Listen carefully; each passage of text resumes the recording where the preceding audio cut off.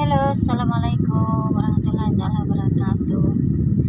Ah, meron po nag-request sa akin na kababayan natin at nagtanong.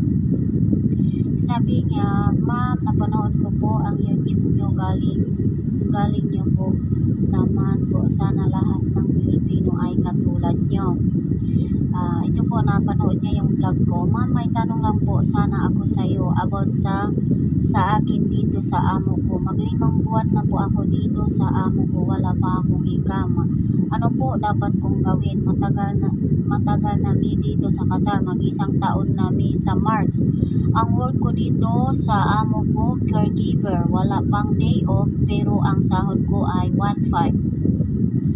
Ma'am, bakit ganon dito sa Qatar nakalagay sa kontrata may day off? Tapos sa kontrata, tapos sa kontra ko is made. Is made. Ngayon, ang work ko dito is caregiver. Tapos wala po, wala tapos wala na po ako ah, wala po akong sinasign na contact dito sa amo ko pag pangatlo ko na tong amo. Ito po yung tanong ni Kabayan. Ah, okay. Ah, yung tanong mo Kabayan, eh, sasagutin ko. Actually po, kapag kapag ang ina-applyan nyo ay skill like caregiver or or private tutor, minsan kasi kapag yung mga amo na kuripot, hindi po talaga nila yan nilagay sa kontrata nyo ay kayo ay caregiver or kayo ay nurse or kayo ay tutor. Kasi kapag nilagay nila ay professional yung status nyo or yung in-applyan nyo, karamihan kasi sa agency or oh, yung agency naghingi po sila ng malaking amount. Kasi actually sabihin ko sa inyo ha, lahat ng amo kapag kukuha sila ng katulong or staff sa agency, meron po silang babayaran. Hindi po yan free. Lalo na po kapag katulong ay is uh, personally sponsor. So, wala po yan free. May babayaran po yung amo. Special kapag katulong, binibili po kayo ng amo nyo ay uh, it's uh, minimum 15,000. Ay, hindi pala. Kung dati-dati ay maximum 15,000 maximum 15,000 yung minimum po ay 10,000 so binibili po kayo ng amo nyo so ganun po kaya kapag wag po kayong magtataka kapag sa Pinas nasa kanyo na lang sa kanyo na lang na wag po kayong mag-expect masyado or masyadong ma-excited dahil sa sinasay nyo ng kontrata kasi hindi po ay 100% ay sinusunod. So, sasabihin ko lang po ito sa inyo, isi-share ko lang sa inyo kasi hindi po lahat, hindi lang po ito nangyayari sa 100% po lahat po tayo ay na scam. So, kailangan po natin wag masyadong mag-expect para pagdating sa abroad, hindi masyadong na masaktan, ganon, parang nagagalit, parang na, kung anong-anong na feeling nyo about sa agency nyo, kasi ganon po talaga ang mangyayari. So, kung nagsign kayo ng kontrata, huwag masyadong mag-expect. Na kung gusto nyo na kumita ng pera, ang nasa isipan nyo na lang na sana maka, mabait yung amo nyo, huwag na masyadong mag, uh, yung mag-expect na may day off, tapos yung oras, kasi sabihin ko sa inyo guys ha, hindi lang po itong nangyayari sa isang kababayan natin. Tulad sinasabi ko, 100%. Lahat OFWDH, wala po yan day off. So sabihin ko po sa inyo ha. So, wag muna tayo pupunta doon. Pupunta muna tayo sa tanong ni kabayan. Yun nga, tulad sa sinasabi ko na kapag ay katulong, it's easy kasi na kukunin ka isa pa, wala nang setse buretse kasi yung katulong, wala kasi parang skill, parang mababa. Wala siyang skill na dapat mong palakihin na ang bayad mo sa agency. Kaya, it's better yung katulong position ang kinuha nila. Pagdating naman dito sa Qatar, ay tulad yon caregiver ang ilagay sa'yo. Pero okay lang naman, para lang sa akin, kung caregiver ang pagdating mo dito at kung wala ka naman na pinilmahan na kontrata, panibagong kontrata, yun pa din ang kontrata mo dati, yung nasa Pinas. Yun pa rin. Bale, change lang ng employer or i-change lang name uh, doon sa ikama mo. O, about doon, naman doon nabanggit ni Kabayan, wala daw siyang ikama. Actually, na may ikama man tayo or walang visa, actually, is for me is not important. Kasi hindi naman yung problema natin, eh. problema yan ng amo mo. At least magtrabaho ka lang. Kasi importante naman yun, pero hindi mo na isipin kasi Once ka walang visa sa Qatar at uwi ka ng bansa, sino ang sisisihin kundi amo mo? Sino yung papagalitan ng immigration kundi amo mo? Ikaw magtrabaho ka lang. Obli obligasyon mo lang sa kanila kung anong dapat nilang uh, utusin, ganito, ganito. Kayo yun dapat. Yun lang ang trabaho nyo. About naman sa resident, ganito, ganito. I think no need to worry about that kasi hindi nyo na yung problema. Eh. Problema talaga yan ng mga amo.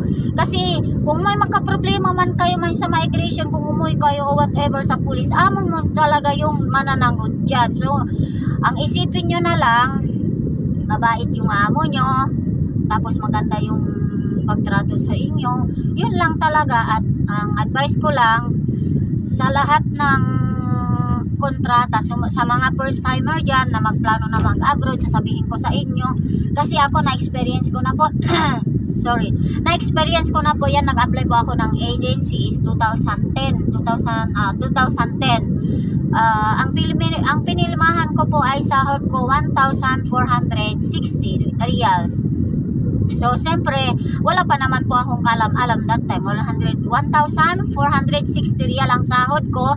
Nakalagay doon, maximum 10 hours yung duty. Tulad yun kung, sa, kung kontrata nyo na ngayon, lahat ng DH ay same.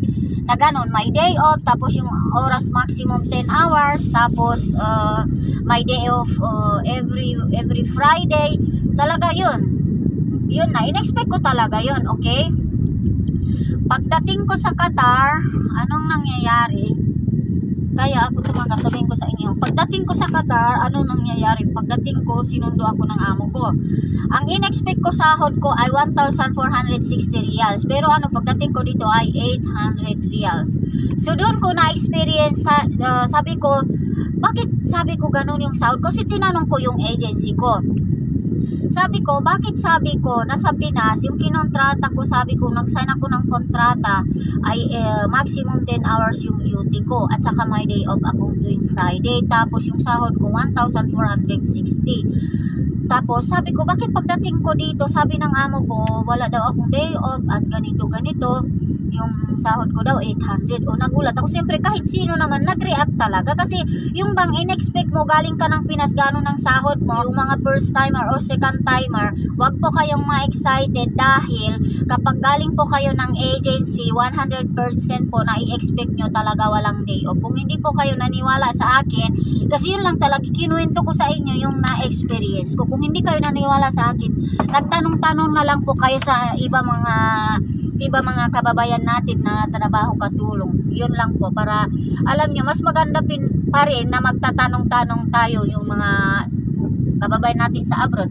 So yun nga, nung tinanong ko yung agency ko, sabi niya, in-explain niya sa akin sabi niya ganito yon. Uh, ah, actually, yung sahod mo nilagay lang sa kontrata ganyan para palusutin daw sila ng POEA. Palabas lang yung kontrata na ganon para daw sila makalusot ng POEA para daw makarating tayo ng Qatar ay legal. So pagdating naman daw dito sa Qatar, panibago na naman daw yung parang private na pag-usapan nyo ng amo mo. Sabi ko sa kanya, dapat sana sinabi ko, okay, kami lahat naman kami ng OFW gusto namin magkapera. Lahat naman kami gustong mag-abroad para magkapera. Sana naman yung bang na sabihin nyo na lang, okay, yung sa kontrata, dahil para lang ipakita sa POEA na palusot, para lang kami maka-abroad, sana ini-explain mo sa amin para alam naman namin at hindi namin ini-expect yun. Sinabihan ko yung agency para wala naman sabi ko maging problema kasi ang plano na naman namin talaga ay pumunta dito ay para magtrabaho. Dapat in-explain mo sa amin para hindi naman kami yung parang nag-expect na ganun talaga ang mangyayari. Sabi niya, sorry, sabi niya ganun kasi para daw, kaya pala na hindi nila ine, ine-explain sa mga aplikante para daw, siyempre kapag alam niyo yung katotohanan, di ba karamihan sa atin na mag-back out, na hindi natutuloy mag-a-abroad. Siyempre, alam nyo naman yung mga agency or recruiter, hindi nila yan sasabihin sa'yo yung totoo kasi siyempre magkapera sila eh. Alam mo yung palabas dito parang iini-scam ka, gano'n ang mangyayari. So, yung mga first timer dyan at yung mga pagkapag-abroad, alam nyo na kung anong mangyayari. Talaga 100% kapag galing po kayo ng agency, wag po masyadong mag-expect na may day off kayo at saka masunod yung sa kontrata. Kasi yung kontrata lang po yan ay okay nasunod yung about sa sahod. Pero about sa day off po talaga kayo masyadong mag-expect. Kasi uh, pagkasunduan amo at agency talaga alam nila yan. Sa simulat pa lang pinagplanuhan nila yan as in talaga wala kayong day off. Agency yan at taka, amo nakakaalam. Pero yung government natin or POEA ang akala nila ay may day off tayo. Pero dahil uh, lalo na mga agency or yung amo natin tingin nila sa atin ay mababa na parang wala tayong pinag-aralan kasi hindi natin ireklamo hindi natin na kayang ipaglaban yung right natin parang kung ano lang utos ng mga amo, yun lang ang sinusunod natin. Kaya karamihan sa mga katulong ay minamatrato ng amo, kaya karamihan sa mga katulong ay takas, kaya karamihan sa mga katulong ay uh, maraming problema. Kasi dahil dito eh, wala tayong, walang nag-support sa atin. Hindi tayo respetuhin ng mga amo dahil uh, dahil walang nagsuporta sa akin, walang nagagabay sa atin, walang na na yung kumbaga, 'di ba? Isa na tayo na let's say na wala tayong pinag-aralan tapos ganun din ang ginagawa tulad mga amo, 'di ba? Kapag uh, kapag wala tayong day off tapos yung mga trabaho natin overwork tapos hindi tayo nagreklamo, eh kaya yung amo malaki yung ulo, 'di ba? Alam nyo guys, yung mga amo lalo na yung yung sa mga first timer, sasabihin ko sa inyo ha, hindi alam nyo, karamihan sa mga Arabo, ang trabaho talaga ay maximum 24 hours. Kung nakahanap na lang kayo yung ah, yung trabaho nyo 8 hours, kayo na ang kayo na ang pinakaswerteng sa buong mundo. Kasi kung alam nyo lang ang trabaho ng bahay, alam nyo, hanggat magising pa yung amo nyo, huwag kayong umasa na matulog ng maaga. Na kung hindi kayo naniwala sa akin, tanungin nyo na lang yung mga mga OFW sa Qatar or OFW kahit saan kasi naranasan ko po yan. Tapos ang masaklap pa tingnan nyo ang ugali ng mga Arabo. Alam nyo first timer ako. Siyempre alam mo ba Muslim ako? Hindi naman ako religious pero yung Muslim na silang uh, religious sila nagtatakip sila ng mukha. Hindi ko talaga yun in-expect na ganon silang na tingi ganon tingin nila sa mga katulong. Alam mo, alam niyo, sasabihin ko sa inyo yung mga first timer, alam mo yung mga Arabo o yung mga amo, ang tingin nila sa'yo ay mababa. O parang wala, as in, wala silang respeto. Na whatever pa, kung kung about sa trabaho tapos hindi mo hinayan, hindi ka magreklamo at yung agency mo, ang kasi agency kasi kumakampiyan sa mga amo eh. So, wag mag-expect masyado dahil kapag magpidos ka doon sa Pinas, sabi niya punta kayo sa agency, agency ganun ganon, wag kayong mag-expect na tutulungan kayo ng agency kasi once kanya na ibigay sa amo nyo at yung reason nyo ay hindi naman masyadong valid, na wag ka nang umasa na tutulungan ka kasi nang ano ka lang, nasaktan ka lang at umiyak ka lang na ano. Kaya, ang advice ko lang, wag masyadong mag-expect sa mga first timer kapag trabaho mo ay sa bahay, wag masyadong mag-arte-arte. 100% guys, kailangan nyo itatak sa isip nyo kapag ang DH, kapag katulong ang ina-applyan nyo, talaga wala kayong day off tapos yung trabaho, todo kayod, wala todong trabaho, yun lang expect nyo. Huwag kayong mag-expect na, okay, kung, mag, kung pagdating nyo naman dito, oh, mabait yung amo nyo, okay, magpasalamat nga kayo. Pero huwag masyado yung mag-expect ganun naman kasi karamihan talaga dito ang mga Arabo, ba, malaki ang bahay nila. Tapos kahit maraming katulong ay almost 24 hours yung trabaho nyo. Kaya huwag masyadong mag-expect sa mga kababayan natin dahil isa pa ito yung talaga sa buong mundo problema natin lalo na sa Pinas problema talaga ay yung mga DH kasi walang nagsuporta sa atin di ba siyempre wala tayong pinag-aralan ang tingin nila ay tulad nga pagtingin ng mga amo natin na tulad nila let's say it's in short word na parang basura tayo. Di ba ka, nakikita nyo naman sa mga naka-experience kung, kung tawag nila yan sa mga katulong, walang respeto. Eh kasi isa nga tayo na ah, alipin, di ba? Lalo na kapag yung mga amo mo na parang, let's say, nasalbahe. Ganun din. Kasi na-experience ko talaga, yung sa Dubai ako, yung kapatid ng amo ko, tinawag niya yung tinawag niya yung amo tinawag niya yung katulong niya ay yaghal yaghal alam niyo yung kal aso yun eh ba? Alam niyo mano yun sila religious yan sila eh. maghihijab sila nagninikab sila. Supposed to be hindi yan sila nagsasabi ng ganun kasi masama yun eh. Kah- uh, wala naman ginagawa ng masama yung katulong niya ganun ang kasi sinabi ko talaga sa inyo karamihan sa mga amo hindi ka talaga respetuhin nila bilang amo. Eh bilang katulong sorry. Hindi ka talaga hindi ka tila no sorry I mean hindi ka nila respetuhin bilang tao. Kasi alipin nga tayo eh. Kaya sabi ko sa inyo huwag masyadong mag-expect na kahit mabait ang amo huwag kayo din makipagbait-bait yan sa kanila. Kasi isa yan silang plastic. Kasi ako kaya yung close yung amo ko sa akin hindi po yan ako na mag-close sa kanila dahil alam ko yung ugali nila eh. Alam ko yung mga ugali nila.